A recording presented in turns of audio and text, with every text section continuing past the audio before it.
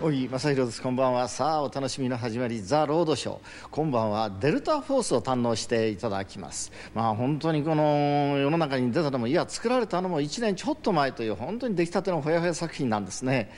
デルタっていうのはご存知の通りこの三角数。実はこのデルタフォースという作品のこのお楽しみのポイントも大きく3つあるんじゃないか。そんな気がいたします。まあ一つはこのデルタフォースという題名になっている。このデルタフォースっていうのはこのアメリカの陸軍に実在するある特別な部隊なんですね。まあご存知の通り最近の世界ではいろいろこの過激派がテロ行為を行う。そういうこのテロ行為を鎮圧するために特設されたこう部隊でして。その活動をここではこう書いている。ですからこの映画には実際のアメリカ陸軍のこのデルタフォースの将校が技術指導を行ったと。こういうことになってるわけです。さあそのデルタフォースのここで部隊長になります。のがおなじみのこのリー・マービンでして。そしてその部隊の実力者がこの左の方のチャック・ノリス。ということになるとこの映画の第2のポイントというのは当然このチャック・ノリスの大活劇ということになるわけですね。このチャック・ノリスあの例のブルース・リーの相手役相手役というよりも大変なこの悪役として登場いたしまして。そしてもう今日の大スターになってまあ結局シルベスター・スタローンそしてアーノルド・シュワルツネッガー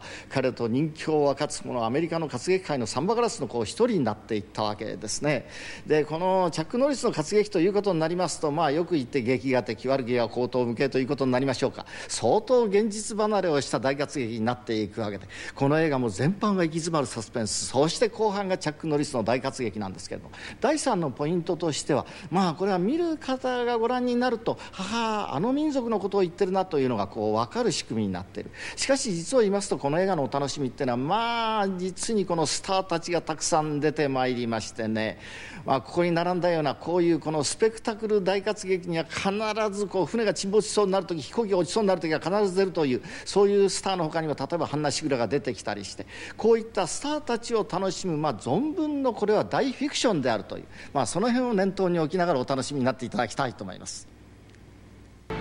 まあ、今アメリカの活劇映画の頂点に立つあのシルベスター・スタローンというのはシチリアの移民の子。そしてアーノルド・シュワルツェネッガーというのはオーストリア人。そしてこのチャック・ノリスっていうのはアイルランドの血とそれからインディアの血がこう入って。いる3人ともアングロサクソンでないっていうところですけれども。あの前の2人がこう相当なインテリだとするとこのチャック・ノリスっていうのはどこまでも土の匂いがする。非都会的である。それが良さですよね。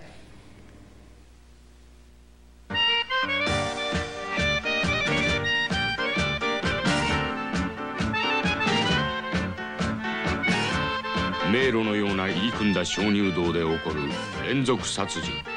23年前の謎の殺人事件を追って。それでは